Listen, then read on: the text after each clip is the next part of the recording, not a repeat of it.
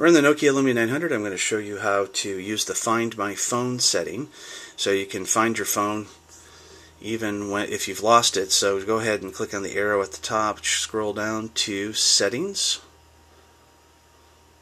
and from here click on Find My Phone. Now you can check the box that says you can ring, lock, erase, or find your phone on a map at windowsphone.com. So you want to set up an account at windowsphone.com. So you can connect to these features faster, may use a little bit more battery, or you can save my location every few hours for better mapping.